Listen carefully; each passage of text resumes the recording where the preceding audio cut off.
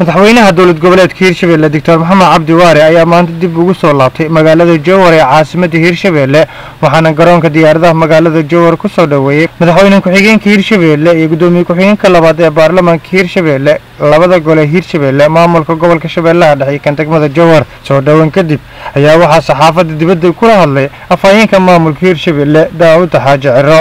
Madaxweynaha dowlad goboleedka hiirshabelle mudane dhegta maxamed cabdi waare iyo wafdi ballaaran uu hogaaminayey oo saddexdii bishan gaaray magaalada garowe caasimadda puntland halkaasna ay uga qayb galeen shir wadatashi ah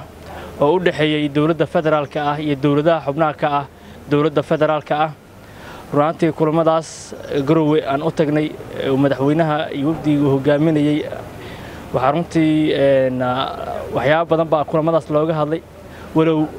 natiijadii la rabay meeshaas aysan ka soo bixin kadib madaxweynaha iyo wasiirka amniguba waxa ay kulan la qaateen madaxweynaha dowladda puntland mudane saciid cabdulaahi dani. Waxay kala hadlayeen muwaadiniin ka soo jeeda deegaanada hirshabeelle oo ku xihan deegaanada puntland gaar ahaan magaalada boosaaso is-afgarad iyo wadahadal kadib waxaa laysku afgartay in dadka muwaadiniinta ah ee ka soo jeeda deegaanada hirshabeelle la daayo sidoo kale inta aan garowe aan joognay madaxweynaha dowlad goboleedka hirshabeelle waxa uu kulan is-afgarad ah ama iskaashi ah ula sameeyey madaxweynayaasha dowladaha puntland iyo koonfur galbeed. Wuxuuna runtii ahaa iskaashigaas mid la xidhiidha la iskana kaashanaya federaalismka amniga ganacsiga. Runaantii kulamadaasna guul ayay runtii ay ku soo dhammaadeen bacdamaa magaalada jowar uu ku soo noqoyay madaxweynaha madaxweyne ku-xigeenka ayaa warbixin ka siiyey howlgallada la xidhiidha dhinaca waddada isku xirta muqdisho iyo jowhar ama balcad iyo jowhar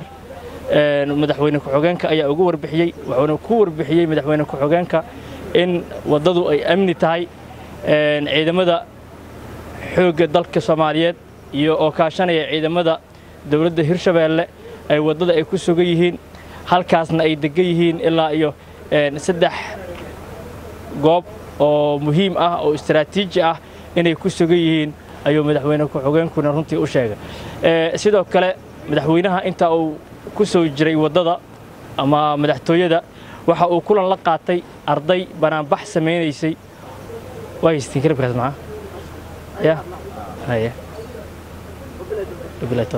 liibaan cabdulle maxamed liibaan lakimaan star t v jawar